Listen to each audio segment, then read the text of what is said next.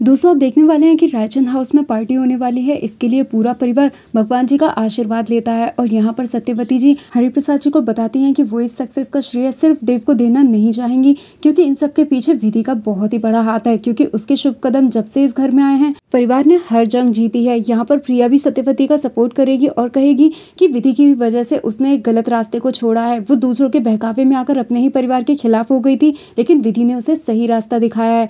यहाँ पर हरिप्रसाद जी मिलापनी माता की मूर्ति लेकर आएँगे, जिसे वो लोग अपने मंदिर में स्थापित कर लेंगे। पार्टी स्टार्ट होगी देव विधि का हाथ थामेगा और कहेगा कि चलो सभी को मिसेस देव रायचंद की जलवे दिखाते हैं। जय की नज़र दोनों पर पड़ जाएगी और देव ने विधि का हाथ थाम रखा है। ये बात जैसे बिल्कुल भी बर्दाश्त नहीं होगी और वो ये चीज़ भूल जाएगा की वो इस वक्त कहाँ पर खड़ा है और वो देव और विधि की तरफ़ आगे बढ़ने लगेगा। जैसे ही वो लोग एक दूसरे के सामने आएँगे, जयदेव को बहुत ही ज़्यादा गुस्से में देखेगा, लेकिन पार्टी का माहौल देखते हुए जय यहाँ पर मुस्कुराने लगेगा और वो देव से कहेगा कि उसने कभी भी सोचा नहीं था कि विधि के बॉस को भी पार्टी में बुलाया जाएगा, लेकिन देव उससे कहेगा कि हमने आपको विधि का बॉस होने के नाते यहाँ पर नहीं बुलाया है, बल्कि हमने रावजी भाई की वजह से आपको बुलाया है। उनके हम पर बहुत ही ज़्यादा एहसान है, वो बहुत ही अच्छे इंसान थे और उनकी हमारे दिल में बहुत ज़्यादा इज़्ज़त है। जय को वहाँ पर देखकर ना तो सत्यवती को बिल्कुल भी अच्छा लगेगा और ना ही विमला और हरिप्रसाद जी को। पार्टी स्टार्ट होगी और देव उन सभी लोगों का शुक्रिया अदा करेगा जिन्होंने भी मुश्किल वक्त में उनका साथ दिया। वो बाल घर के उन सभी बच्चों को भी थैंक्स कहेगा और उन सभी को गिफ्ट डिस्ट्रीब्यूट करेगा, क्योंकि जब उनके पास रहने के लिए घर नहीं था और खाने के लिए खाना नहीं था, तब बाल घर ने ही उन्हें अपनी शरण दी थी।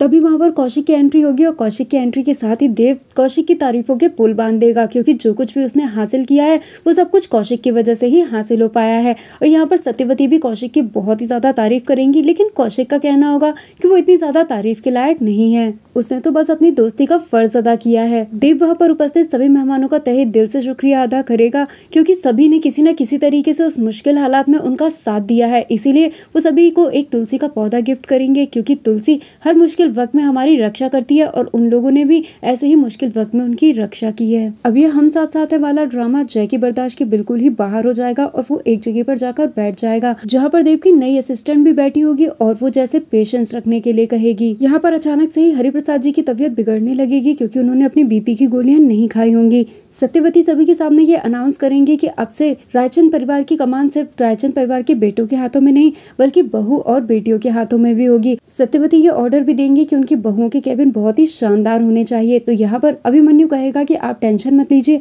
उनके कैबिन हमारे कैबिन से भी बड़े होंगे। अब जैसे ही ये बात जैसा सुनेगा तो वो बिल्कुल ही आग बबूला हो जाएगा। यहाँ पर विधि नोटिस कर लेगी कि उसके पापा की तबीयत ठीक नहीं है तो यहाँ पर विधि काफ़ी ज़्यादा परेशान होगी और विधि के चेहरे पर ये परेशानी देखकर जय को लगेगा कि वो अपने फैमिली के डिसीज़न से बिल्कुल भी एग्री नहीं करती है और ये सारी चीज़ें उससे ज़बरदस्ती करवाई जा रही हैं। इस वजह से जय ये डिसाइड कर लेता है कि वो विधि को इस माया जाल में फंसने नहीं देगा। जय जैसे ही सत्यवती को अपनी बहुओं के बारे में बात करते हुए सुनेगा तो उसके हाथ में रखा हुआ वाइन का ग्लास वो तोड़ देगा।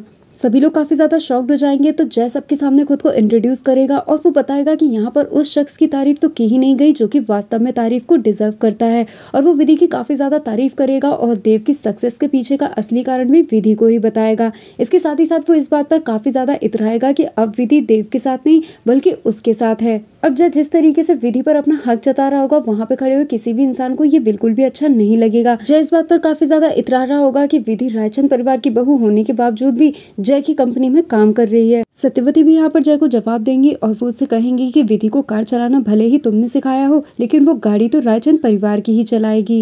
इस बात से जय को काफ़ी ज़्यादा गुस्सा आ जाएगा और वो गुस्से में वहाँ से चला जाएगा। विधि एक लेटर टाइप कर रही होगी और देव के आते ही उसे छुपा लेगी और कहेगी कि वो कल बताएगी क्योंकि ये एक सरप्राइज़ है। तो देव भी उससे कहेगा कि उसके पास भी विधि के लिए एक सरप्राइज़ है जो कि वो उसे कल बताएगा। यहाँ पर हम देखते हैं कि विधि जय के पास जाएगी और अपना रेसिग्नेशन लेटर जय को पकड़ा देगी जिसे देखकर जय काफ़ी ज़्यादा शॉक्ड हो जाएगा।